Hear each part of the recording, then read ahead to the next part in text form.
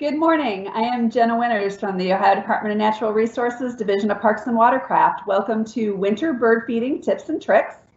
Um, with us today is naturalist Mandy Walski from Cowan Lake, and we are given support today by naturalist Kaylin Callender from Lake Hope. She'll be uh, helping to answer questions. And also naturalist Lauren Stewart from Maumee Bay. So um, feel free to utilize the uh, question and answer pane. Um, these ladies will be here to um, try to find some answers for you and we will ask Mandy questions. So ask away.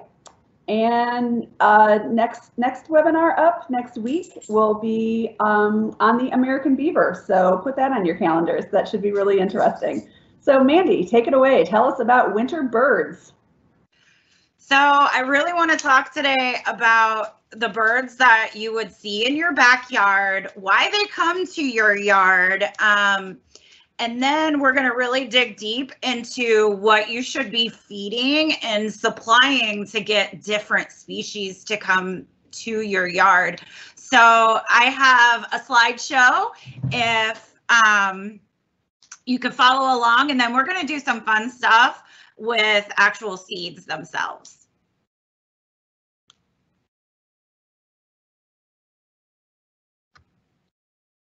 So do we see the slideshow?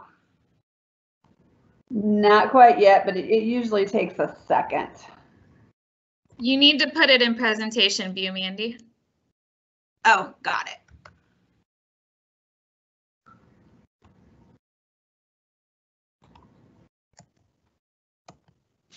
And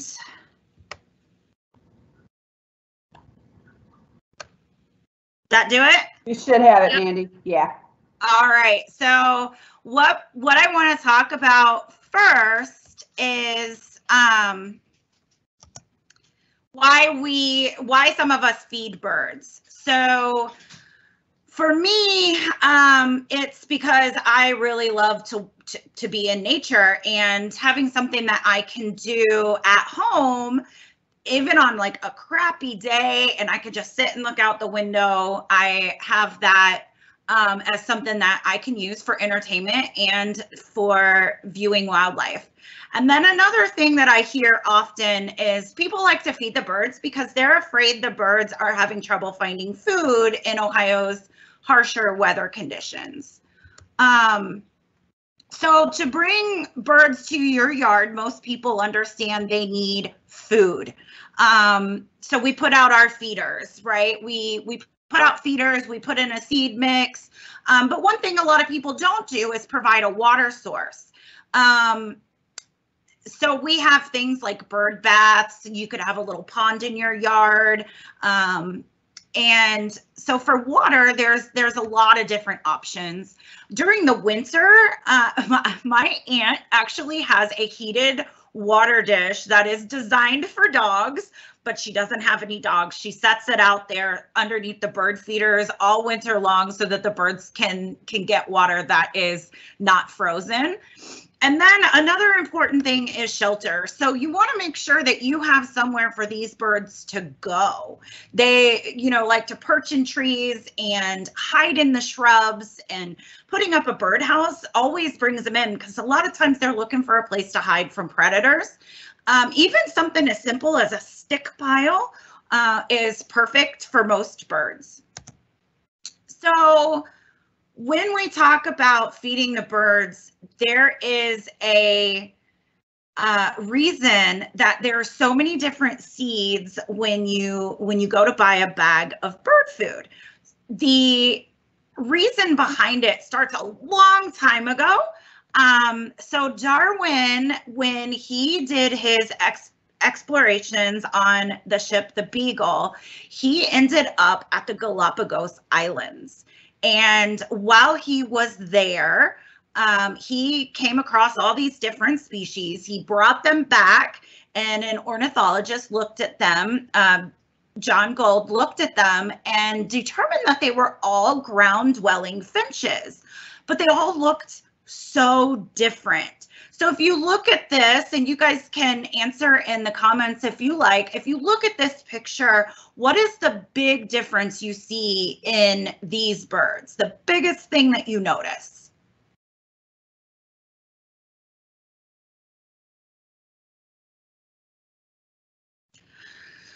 So one of the first things that pops out to me is bird number one has this huge beak, and then bird number three right below him has this tiny little beak.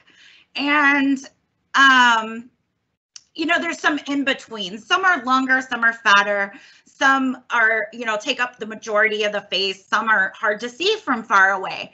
So if you look at these different bird beaks, do you think they all eat the same food? That is uh that is a um, what we're looking at today is yes, they're all finches, but if we only put out one certain food, are they really going to all come to eat if all we put out is black oil sunflower seed? So what's when you're deciding um, what you want to feed, there are some things that you want to consider. So not all birds eat the same thing.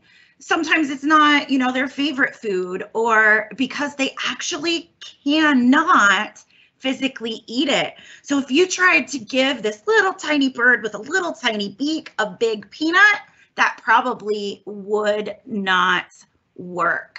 So I'm going to um, stop presenting. Can you guys see me again?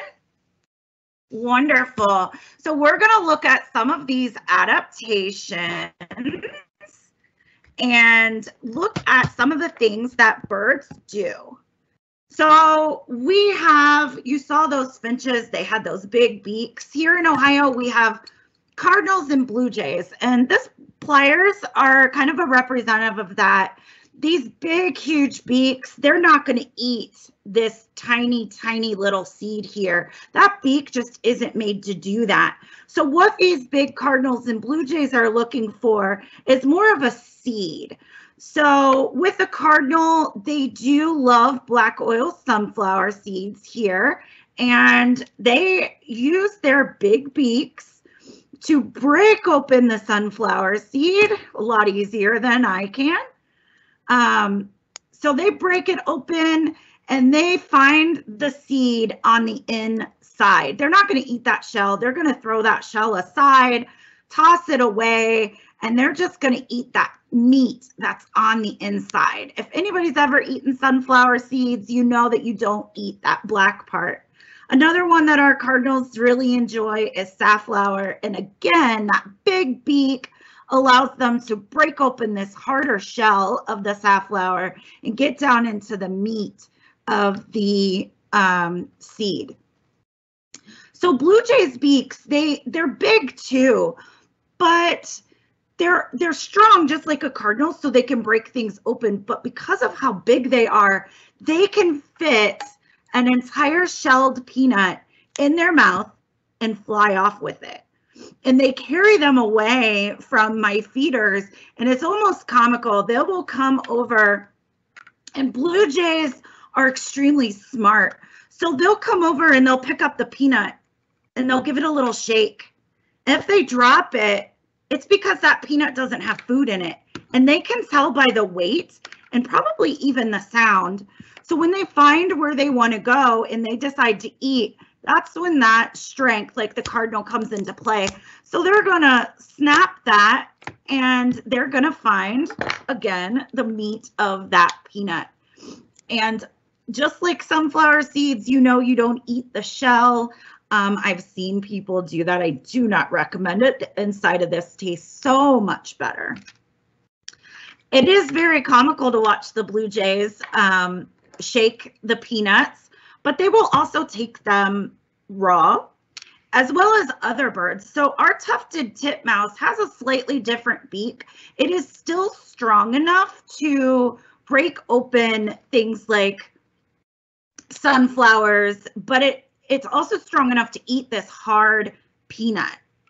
One of the other birds that we have here in Ohio is a Carolina wren, and this one is a little bit harder to talk about because I am not skilled with chopsticks. So Carolina wrens have a wide variety of food that they will eat. So their beak is adapted for seed eating, insect eating, um, so it's it's strong enough to break open a sunflower seed, but it's also thin and long enough that if I can do this correctly, it's also long enough that it can get down into bark and pull out little insects. So what I have here are mealworms and I buy these dried. Normally I only put these out in the summer because if they get snow on them, they just get gross really fast. So another cool thing about our Carolina wrens is they have an adaptation of a hooked beak. So what I mean is at the end of their beak, there's this tiny little hook. And we do have a photo coming up that will explain this more.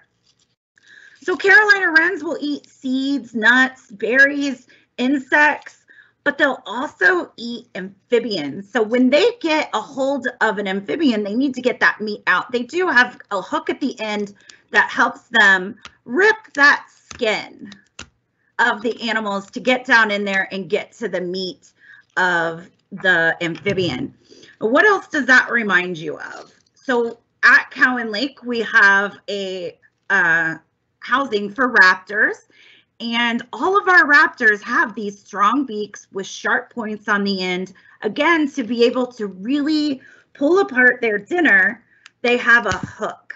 Now their beaks are, are designed not just for helping them eat, but they're to tear apart their food, but they're also designed um, strong so that they can kill their prey as well.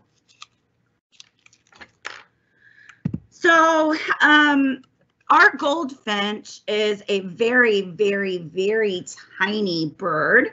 And he has a very thin, long pointed beak, and they prefer to eat seeds.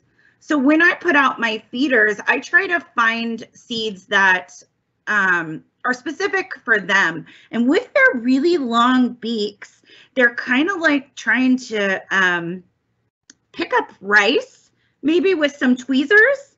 So the Niger seed or thistle seed is one that I put out for my goldfinch.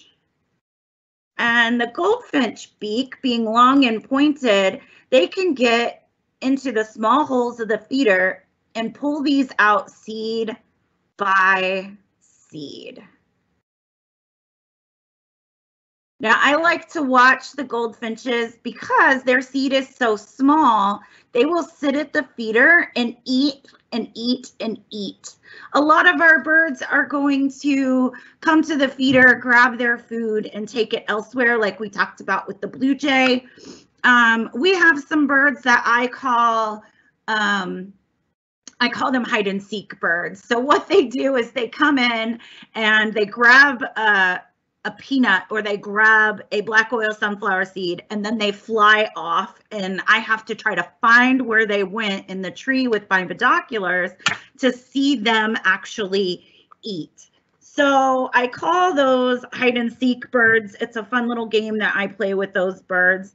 Um, they will go up, they will come down, they will grab a seed and when they leave, they go up to a tree and they sit down on that tree and they use the tree in their beak to break open that seed. Now, one of the other things they do that is really cool is they will take that seed and they will stick it in the bark of the tree. Come back, grab another seed, go to the tree, stick that seed in the bark, come back, grab another seed, stick that in the bark. And what they're doing is storing food for later. So those small, strong beaks not only help them eat the seed, but it helps them hide the seed as well. So um, beaks are not just there for eating. Um, a lot, uh, our the bird beaks are adapted to do more than that. They are strong, as we talked about the raptor's beaks. Um, so they help with uh, again, killing prey. Um, beaks can also help build their nests. Beaks will also help them preen their feathers, feed their young. I mean, these beaks are really adapted to do a lot of things. So one of the other birds I wanted to tell you about today with a really cool beak is one that arrived at Cowan Lake over the summer. And it wasn't the first time we've seen this uh, type of bird at Cowan, but it was really special for our visitors. A pelican, a brown pelican came to visit. So pelicans' beaks are specifically adapted for the type of food they eat, just like all our other birds.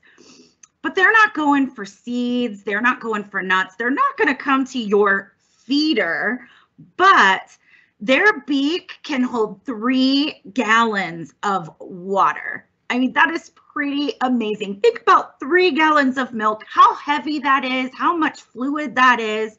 Um, and then imagine trying to carry that all in your mouth. Impossible for me to do. I can barely keep a cup of water in my mouth for a long time. But these birds, they'll go down and they will, um, white pelicans will float on the water and uh, stick their mouth down into the water and grab a bunch of water where there are fish um, gathered around and they'll pull the fish into their mouth. And then brown pelicans dive down into the water. Slightly different way of hunting, but, or fishing, I guess. So what I have here is some floating.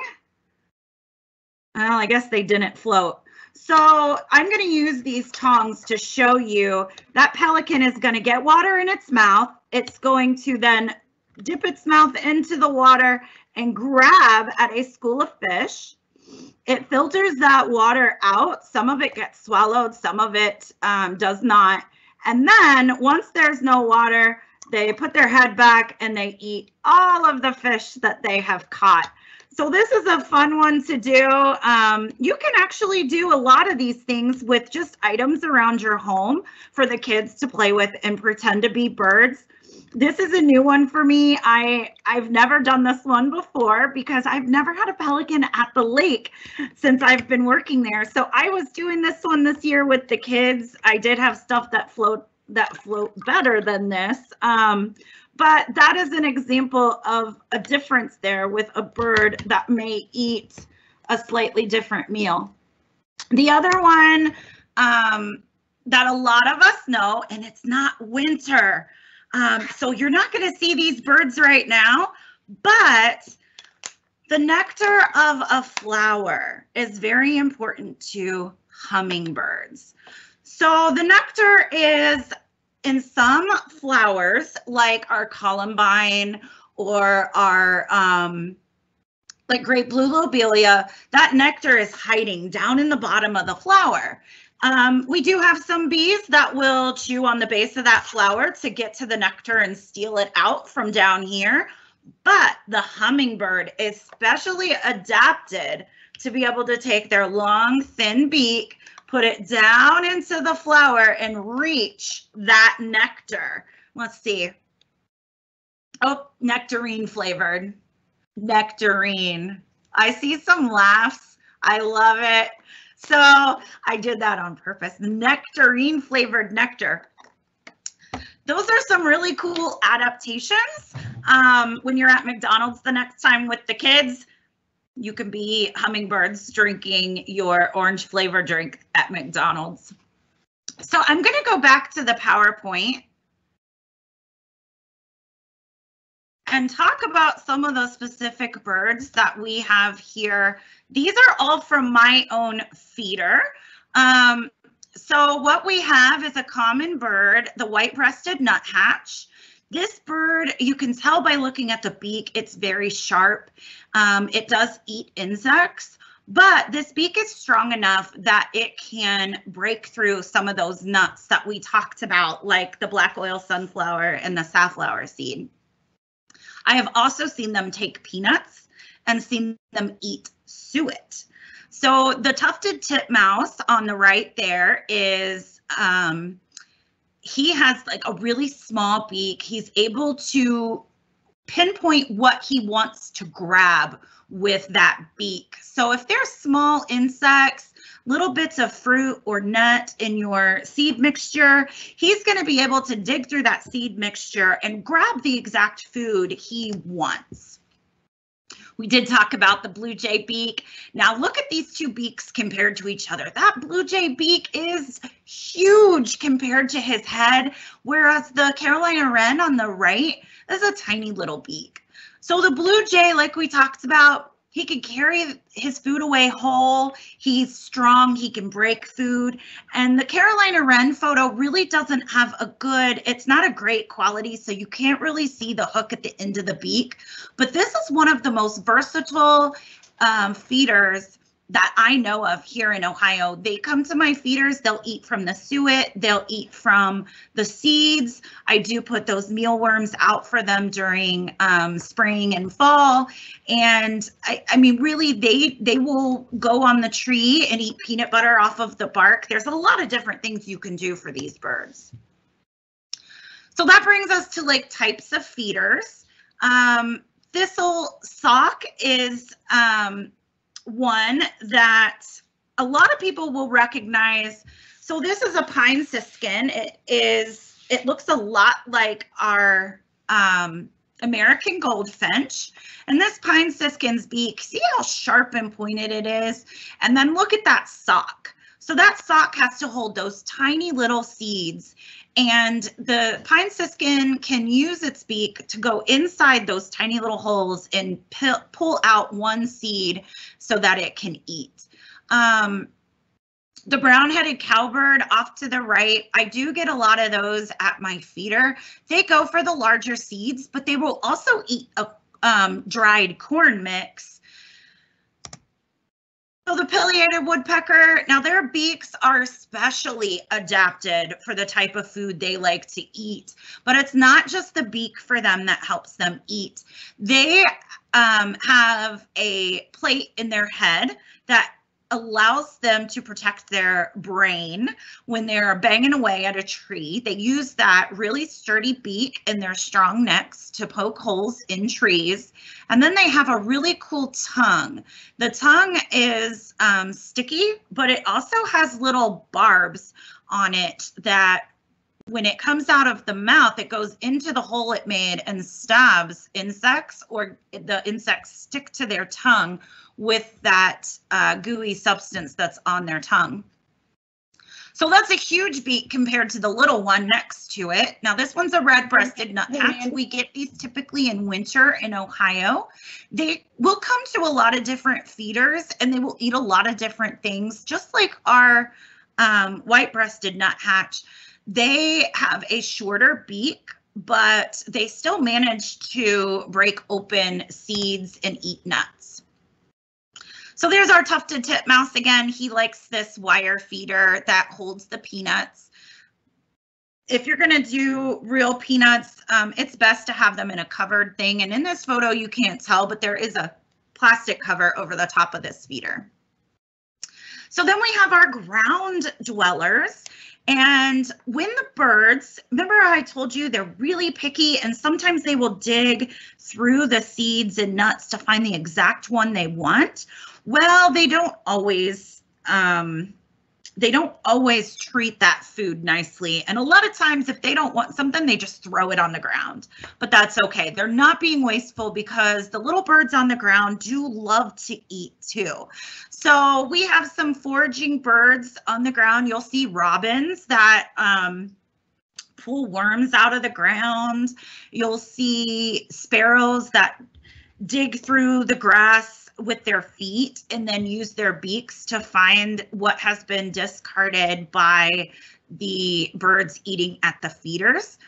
And a lot of times there is a lot of mess under the feeders. It's not all junk. It's not all discarded shells. A lot of it is food.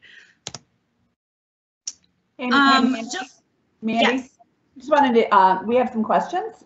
Yes, so go ahead. Wanted to inter interject really quick here. Um, one of our questions um, was, what do crows eat? Oh, crows are, um, they're kind of like, they have a huge diet. So they will come to the come to the feeders, they'll eat things that are at the feeders. They'll go after fruit. They'll go they'll go after the seeds and stuff, but they will also eat from the dead animals on the side of the road.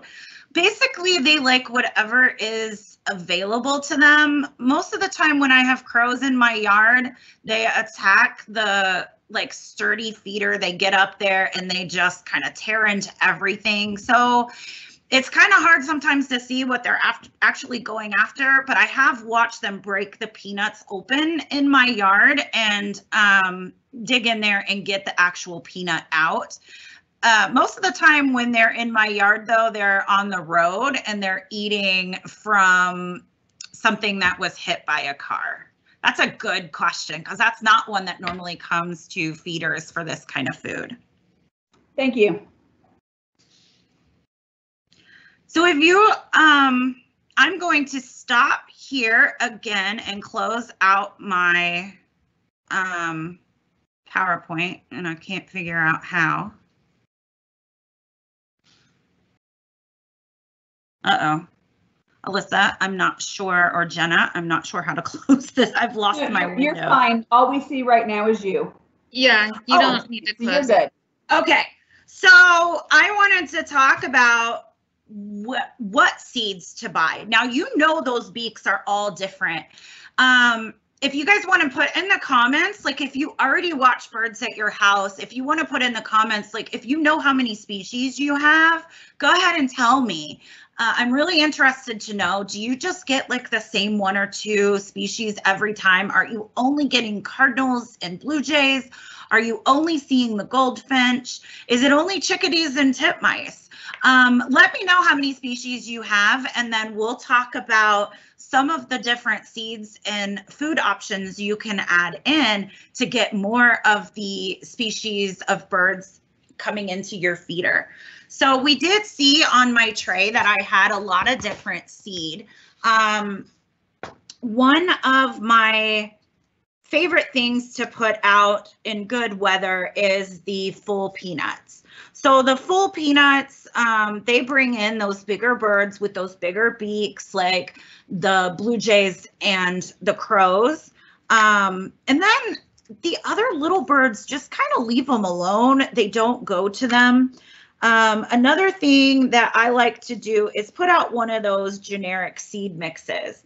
So when I say generic seed mix, what I mean is it's just a bag of bird food that has multiple different types of food in it. So this one actually has black oil sunflower seeds, striped sunflower seeds, some safflower seeds. This has some uh, peanuts without the shell, and there's even some bits of dried fruit in here. I saw one that was a cranberry. Um, so this is a good seed mix for a wide variety of birds. The little white um, circles you see in here and the little red circles are what we call millet. Now, millet is not something that most of our birds like. It is one of those things that normally ends up on the ground. Um, it's almost like a filler for this bag, unfortunately. Um, when I see birds, the only birds I really ever see eating this are house sparrows down on the ground or house sparrows on the feeder may eat some of this um, millet as well. So I recommend looking for a bag that doesn't have as much millet. They are a little bit more expensive because this is really filler, but you'll get more bang for your buck if you spend the extra money and not have as much millet. So if you're um, really obsessed, like I am, with feeding your birds and you really just want to have tons and tons of birds coming to your yard, the more food, different types of foods you put out, the more birds you're going to see.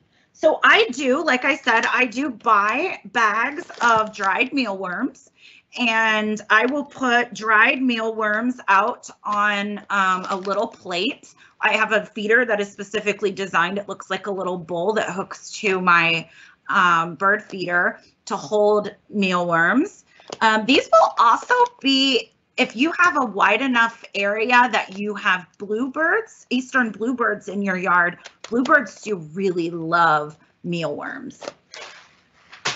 The other thing you can do, if you would rather see a bunch of cardinals in your yard, you can specifically buy just one kind of seed. So this one is a big bag of safflower. Uh, I do put this out um, if if I see that most of my little birds aren't coming to the feeder and it's mostly cardinals, I will put out a lot of the black oil sunflower seed and then mix in some of the safflower seed so that I'm feeding them what they actually want. Um, another thing that you can do is you can buy peanuts whole or you can buy peanuts that are already shelled. One thing I do want to bring up is that you don't want to go to, to Kroger and go into the snack aisle and buy peanuts that are for human consumption. They have um, a lot of salt added to them for our enjoyment, but it's not necessarily good for the birds. So I do buy in the bag. Um, and then you can also, some stores do sell in bulk. So I typically the typically I go to Rural King and I buy in bulk um, some of the other seeds and foods. Um, it's it's a great way to get a good variety. So I buy in bulk my Niger seed. You can buy socks pre-filled, those um, nets of for feeding the goldfinch pre-filled as well. I did mention the corn. There, this is a mix of um, cracked corn, uh, millet, black oil sunflower seed, and I get this because I don't just like to watch the birds. I love to watch the antics of the squirrels. Now, some of the bigger birds with the big strong beak adaptation can eat this corn. Most of the time it gets thrown on the ground. And I also make piles of it around my feeder for the squirrels themselves. Um, not a good idea though if you don't want those squirrels at your feeder because they will tell all of their squirrel friends that there is corn at your house. Then I break- also buy break my in black For a second, Mandy? Yes. Here, um, just to address some questions. Um, we have, um, sorry, I'm trying to find it here. Um, Larissa wants to know, how can I attract species of sparrows like white-throated, song, and tree sparrows without attracting house sparrows? I hate to say this, but you probably cannot, especially if you're in a rural area. Um, there is an abundance of house sparrows. I have tried many years to get rid of house sparrows, um, including trapping them. Um, so, what those sparrows really are looking for, they do like to be undercover and they like to be hidden from predators. So if you have some bushes or the stick piles, I've even seen people build lean-tos near their feeders. So it's it's almost like a little half tent out of sticks for the birds to to get underneath and then you spread the seed under it.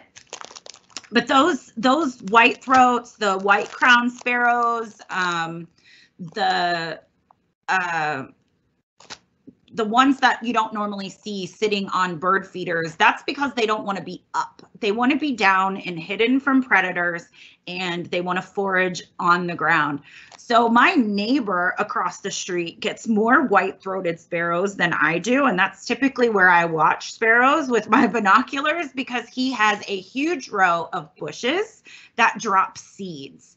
So a good one would be um, spice bush or um, maybe some of the different viburnums like arrowwood viburnum, um, nanny berry, there's service berry, holly. There's so much thing, so many things that you can plant as food sources for the birds, not just with buying seed, that those birds are going to be more inclined to come visit um, if there is a um, a fresh option that they can hide and eat. So I hope that helped. Thanks, Mandy. Um, tilt your camera up just a tiny little bit. We can, just a little bit, yeah, so we, we can Okay. see all of your beautiful face. I was I was showing seeds. I'm sorry, but thank you for that. Um, so another thing I want to talk about is our woodpeckers. Yes, they will come and they will eat some of these things, but they have a very special need. They like um, to to dig in for their food, and I'll see them come and grab a big peanut, or I'll see them grab the peanuts out of the feeder. But I think they actually, I know this probably is not scientifically accurate, but I think they enjoy my feeders more when I give them something to peck at and dig into. And that's what what I'm talking about is the suet. So suet comes in, you can buy this pre-packaged and it comes in a lot of different flavors. Um, they all have different ingredients. Uh, and they all seem like they're telling you it's going to attract more birds or different birds. So for instance, this one is a woodpecker blend, um, and this one is nuts and berries. And believe it or not, this one is hot pepper. So a lot of different things here. There, the hot pepper is one that if you have a squirrel problem, the squirrels are not going to want to eat this, but the birds can't taste it. So this is a good one to try if your squirrels are eating too much of your suet. This is the one that I have the best. Um, it's almost always gone quicker than any of the other ones is this woodpecker uh, blend. I have had um, hairy woodpecker, downy woodpecker, red-bellied woodpecker, and the pileated woodpecker all in my yard eating off of this woodpecker blend. Um, there are others, like this one is cherry. Um, the peanut blend is another one. I think the woodpecker and the peanut blend are pretty similar.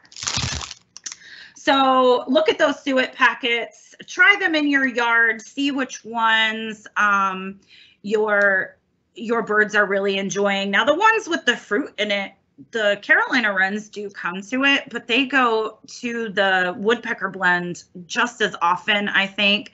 Um, there are also some that have, well, this one was blueberry. I just thought that was funny. All these different flavors and birds really can't taste, but um, so this one's a sunflower blend. So it's peanut sunflower um, and then just wild bird blend. Um, I'm not sure what exactly the difference is in all of these. I say figure out which one works for you. But if they're not eating it within a if it gets yucky, you should definitely throw it away. If they're not eating it, I would not suggest trying that one again. Another cool thing about birds is that they won't, this suet is, is pre-made. It's not gross to put out. It, it's a little, you know, icky, oily, sticky on your hands, but it's not really gross, gross. I do go to my local butcher and suet is basically like a chunk of fat that is coming off of an animal that's been processed for us to eat. And the butcher does sell, um, just like you would get your hamburger in a little package. Butchers do sell suet in a little package. I would recommend if you are going to go that route, especially if you have crows that like to eat, that's a good one for them. I can't believe I didn't think about that with the crow question. Um, only use that when it's really cold. So today there's a lot of sun out. It's um it's nice and warm and that suet I mean, imagine if you left your hamburger sitting outside right now in the heat. I, that would be pretty gross. So you don't want to use that that suet from the butcher for that. I wait and get the suet when we've had a lot of snow the suet will stay good for longer. And um, most of the time it gets eaten um, when the birds are trying to get all that nutrients to keep themselves warm, to have the extra calories to be able to burn off. So um, because my screen is locked and all I can see is I'm not seeing what you guys are seeing, I do want to talk about the feeders themselves. As somebody who feeds birds, it is your responsibility as the bird feeder to clean up after them. They can't get that they can't get out a mop, they can't get out the, you know, the hot water and the scrub brush, um, but they rely on you to make sure that they are safe at your feeders. Um, so I would suggest at least four times a year, at the minimum, four times a year. End of every season or beginning of every season is a good time to do this.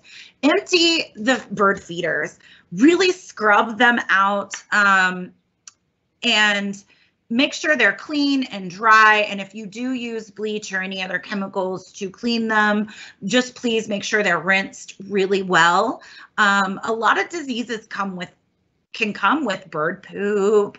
Um, and they can spread eye infections to each other. And then if you're putting out water as well, make sure that water is clean. Don't let that bird bath become green and slippery and slimy. Make sure that's clean. Replace that water at least once a week.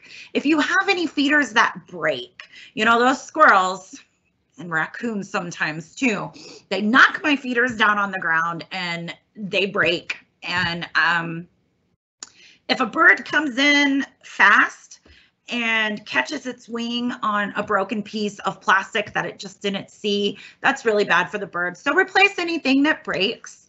And if you notice that above your feeder is a place where they always sit and then they're constantly dropping their feces on top of your feeder, you might have to clean a little more often. You don't want to leave large amount of feces um, at your feeders for an extended period of time.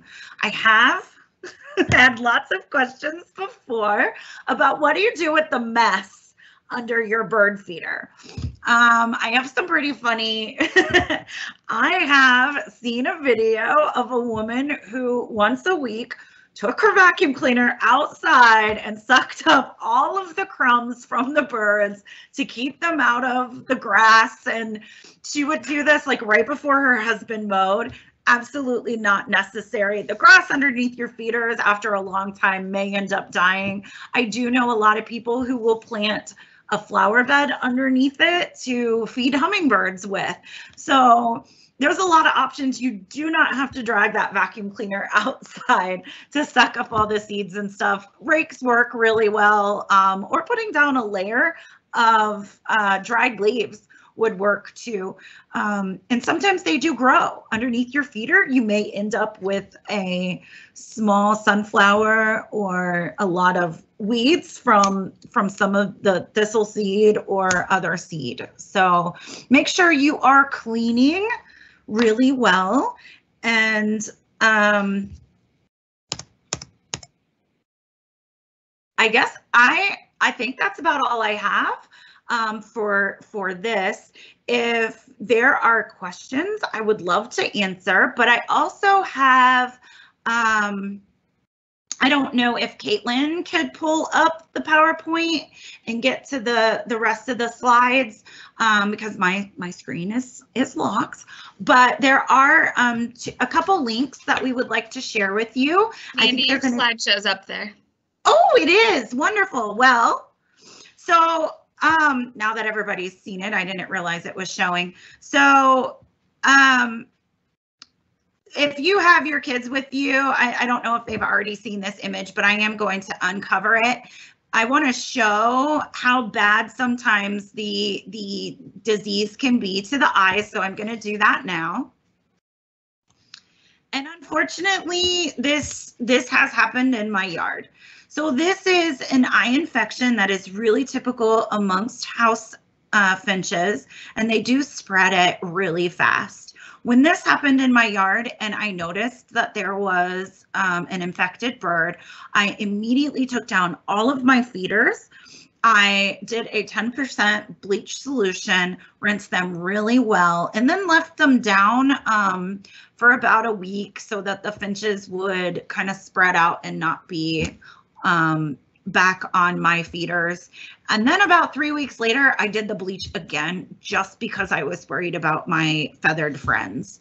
Um, so as a wrap up, remember that you want to offer shelter, offer a variety of seeds Uh, here you can see this is actually my front yard and one of my setups for a feeder, one of my setups for a feeder. I did say one because I have multiple. You want to offer areas where they can rest, whether it's a rock pile, a stick pile, or underneath those bushes is perfect. They can rest there and they can shelter there. And then here is um, just don't forget water. So this is a pretty simple setup that I use. And all this is, is a big plastic bowl. And I fill it with the water and I tilt it on its side so that the water comes to the edge. And then because it's plastic, it really under hot water with a scrub, it just wipes off. It's very simple. I also have a cheap trick for you. If you go to Lowe's or Home Depot or Walmart, they sell these big planters for, you know, decoration outside of your home for big, big, like, um, to make a big thing of flowers. But underneath that planter, there's this plastic dish that collects water. That is perfect. Those things are so cheap.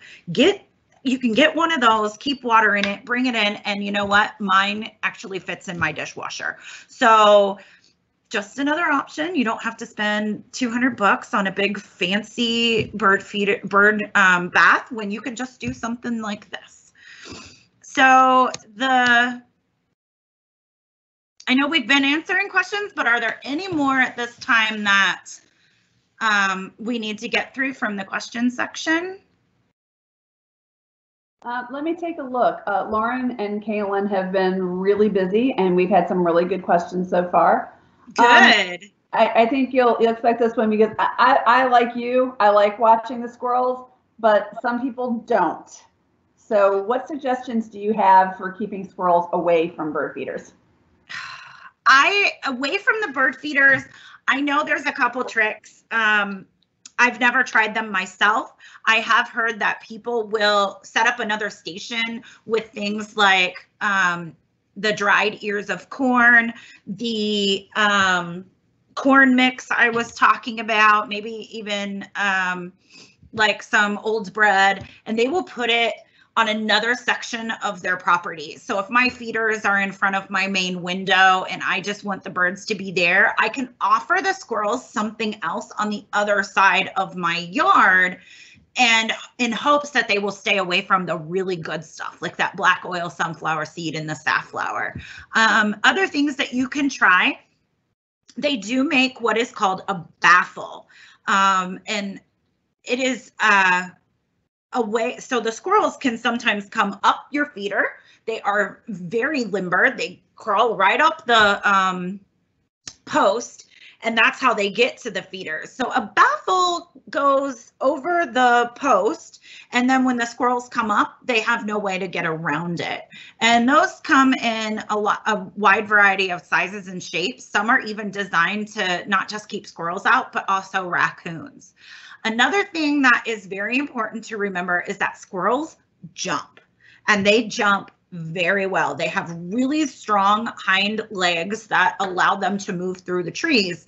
And if your feeders are close enough to your house or to your trees, they can they will jump from a branch or from your roof um, onto the feeders. And sometimes it's quite comical. They don't always make it, they fall off, they try again. But having an open space where they can't jump down to is uh, probably one of the best things that I have seen work. All right, thank you. Um, we have a question from Angela. How do you keep water out during the cold without heated dishes? So if you have a small pond, a lot of times um, the ponds that I like the one that's in my yard, it does have a motor that runs um, year round. And as that water is being circulated, it doesn't always freeze. So that is one option. Another option is to, I'm sorry. Oh, okay. So another option is when you want to watch the birds, you put the water out right then and then when it freezes you get rid of the big ice cube and um, that's really for people who are, like if it's a saturday and it's really cold outside, I will I will do that. I've, I I admit I'm a little crazy when it comes to watching my birds out my window. I'll have my coffee. I'll go out. I'll feed the I'll fill the feeders and I'll put out fresh water and then come inside and enjoy my coffee and watch the birds.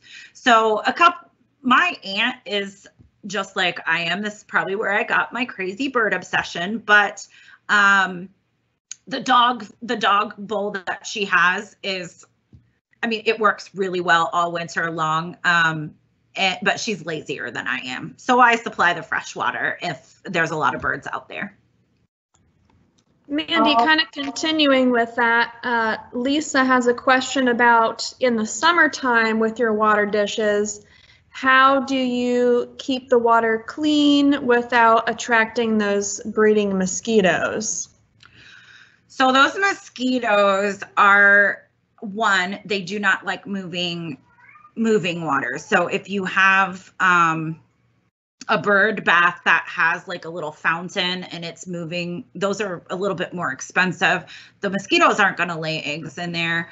Um frequently changing the water uh, is probably your best bet. And then you also want to remember that you don't need a lot of water for those birds. I mean, these birds are really tiny. If you only have like a quarter inch of water in there, that is enough for birds, bees, butterflies. Um, and the mosquitoes may not want to, uh, they may be looking for bigger water areas. Now, I have had mosquitoes lay in five gallon buckets in my yard. So the the best thing I can tell you is to constantly change the water at least once a week. Um, and the same with cleaning during the summer. It's really important to clean those those water dishes because the heat from the sun helps things grow in that bird feeder, and you, that's the time of year that you'll get that green scummy feel to it. So the more cleaning and the more changing of water, the less chance you'll have of mosquitoes. That's a good question.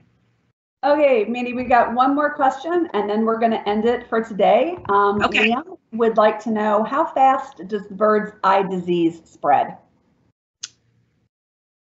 I honestly do not know how fast it spreads. I know that when I had it in my yard, it was during um, the Great Back. Um, no, it was during Project Feeder Watch that I noticed it. And Project Feeder Watch is a citizen science program where you report the birds you see in your yard. And that's why I noticed it because I was constantly watching and counting and looking. And I did see one bird that I was like, what is, I'm, I just thought that maybe he had gotten into a fight with another bird over territory or food and had lost an eye. And then um, a few days later, I realized I had two birds missing eyes. And I was like, okay, that's weird. And I had actually made a note of that in my book. I I don't know if it was like a week later or two weeks later, but when I started to see that um like four or five of the birds almost look completely blind in both eyes, I did some I did a search online and that's how I actually learned about this. Contacted a couple of my birding friends and they told me what to do. So within a couple weeks of watching my feeder, it, it went from like one to, to four. So four, five, six. I'd have to go back and look at my notes. It was a few years ago. So it was really quick. Now, does that mean that it happened that fast? I'm not totally sure. I don't know where those birds were living. I don't know if maybe my neighbors have feeders out. Maybe they were over there and I just didn't see them. Maybe that feeder got empty, so they came to mine. There's a lot of different um, reasons that I saw more or less, but the best the best thing you can do if you notice it um, is to to clean right away. Um, and if you if you're like me and you're you're watching, you'll probably notice it quick. It, it was very obvious to me that something was wrong with that bird. That's a really good question. Now I've got to go do some more research.